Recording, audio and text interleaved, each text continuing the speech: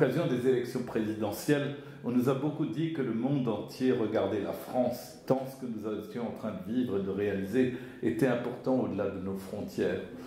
Mais nous-mêmes, dans cette agitation électorale, sommes-nous capables de regarder le monde pendant que nous nous débattons avec nos candidats, avec leurs calculs et leurs alliances des problèmes graves continuent à exister ailleurs. Nous nous inquiétons de l'arrivée trop nombreuse de réfugiés au péril de leur vie. Cette arrivée est le signe de guerre, d'appauvrissement, de violence sur d'autres continents. Elle est le signe d'une perte totale d'espérance de population entière. Nous rappelons-nous qu'on a continué à se battre autour de Mossoul en Irak et de Raqqa en Syrie contre Daesh qui se défend pied à pied contre les attaques de la coalition des grands pays qui veulent extirper le mal une fois pour toutes. Je viens de faire un voyage en Irak.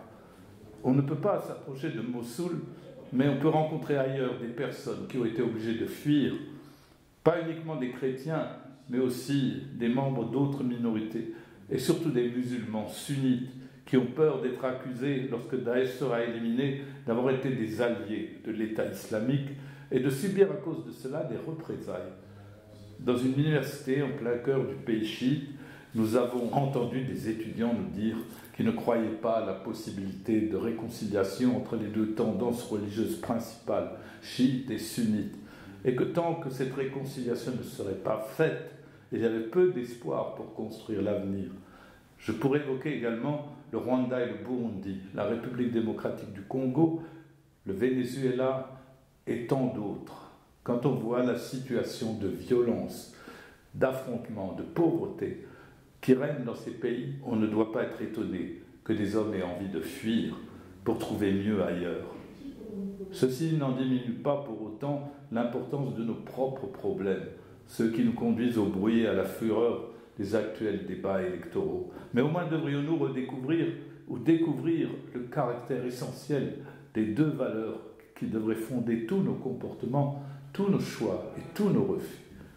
D'un côté, le dialogue.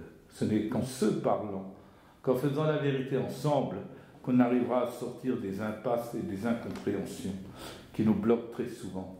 C'est vrai entre nous, il faut que ce soit à tous les niveaux et à tous les points de vue, entre cultures, entre religions, entre pays, entre catégories sociales. Il n'y a pas d'autre chemin pour créer plus de communion.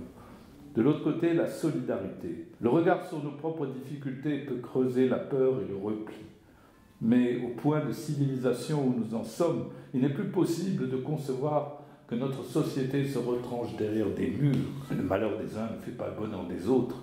Il faut vouloir avancer ensemble, s'entraider entre petits et grands, riches et pauvres. Seule la volonté de partager sera créatrice de communion.